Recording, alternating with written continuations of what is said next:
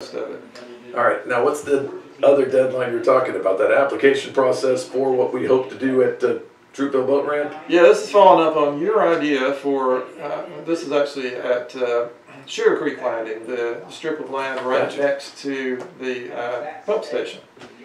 So again, the dream there, people, is make that the halfway point. Develop a nice boardwalk as it put in and a takeout along that set, that uh, section of the Withlacoochee.